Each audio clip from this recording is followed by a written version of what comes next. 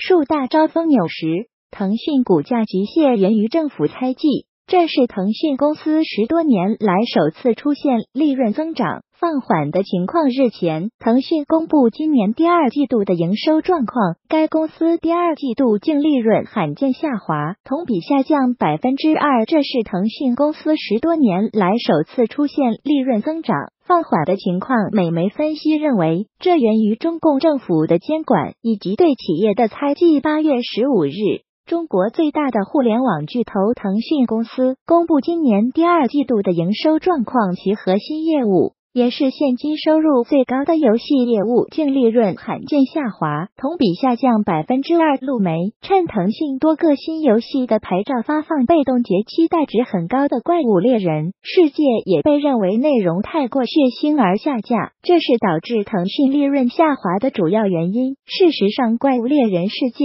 在腾讯上架才一秒，已被当局封杀。腾讯公司执行董事刘炽平在业绩发布的电话会议。上解释，很多手游都未获得批准。中共政府的顶层官僚架构出现人事变动，正影响整个行业，从而也导致了腾讯难以取得新的手机游戏许可执照，削弱了公司的盈利能力。刘炽平的解释被认为披露中共政府作为第三者手操生杀大权，决定着中国民营企业是否盈利的能力。纽约时报报道。说无所不管的中共官僚体制，加上对这些私企实施高压的审查制度，这一切都成为这些私企的负累。但对中国这几家规模最大的私人企业而言，他们毫无选择。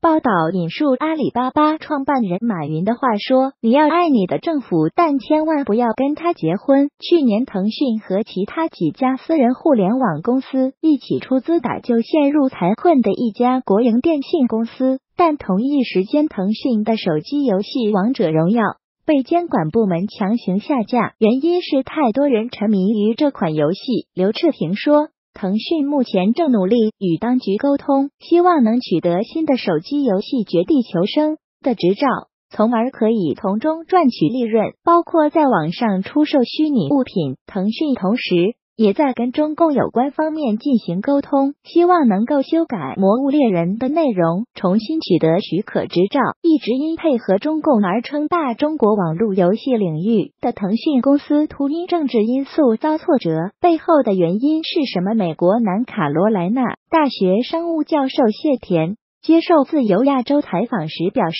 我觉得可能是因为腾讯的通讯软体不自觉的助长了中国老百姓维权上访，或是因腾讯没和中共当局很好的配合，没有做的很有效的披露上访组织者的信息，因此惹恼的当局。当然，腾讯之可以发展和壮大，都是中共当局或明或暗地控制、操纵中共当局对外国网站的封杀。”等同帮腾讯和阿里巴巴赶走了商业竞争对手，而中共也是这些私企的合作对象，如腾讯的微信被他用来监控国民。谢田教授说，即使这样，有时候他们也会出现内部矛盾，并且引起问题。华尔街日报报道，阿里巴巴旗下的蚂蚁金服由于发展迅速，其规模已大到足可动摇中共金融系统。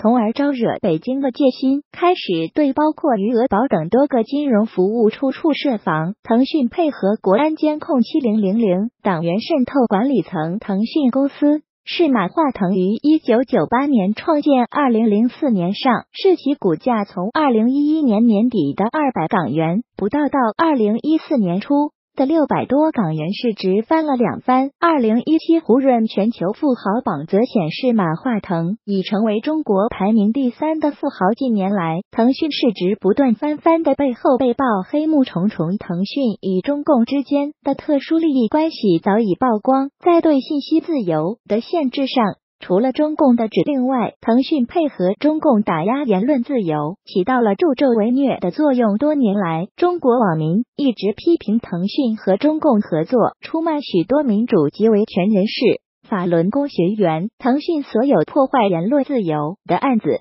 都涉及向中共国安出卖用户数据、监控用户对话。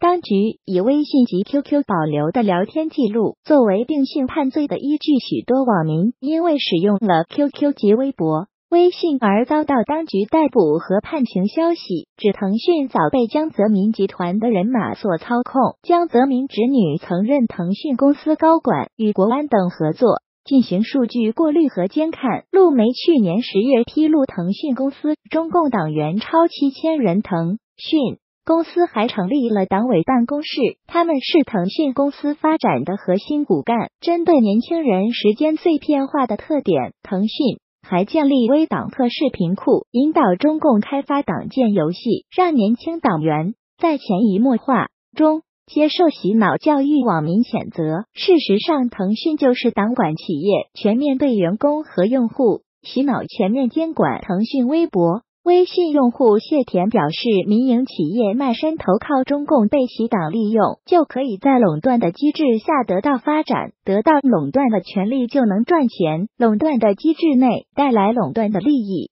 但说不定高层哪天不高兴，你民营企业的垄断权利就没有了。腾讯此次遭遇，让不少人想起五月被判刑的前安邦集团董事长吴晓辉，以及七月在法国意外身亡的海航集团董事长王健，还有去年大年三十在香港被带回北京的明天控股创办人肖建华。据悉，安邦集团于二零一八年二月被中共接管。肖建华的公司被要求出售一千五百亿人民币资产以偿还银行贷款，而海航也将进行强制性重组。英国金融时报此前趁中共对海航的处理方式与对安邦保险的国有化处理措施并列，标志着中共对待民营企业的态度重新变得强硬。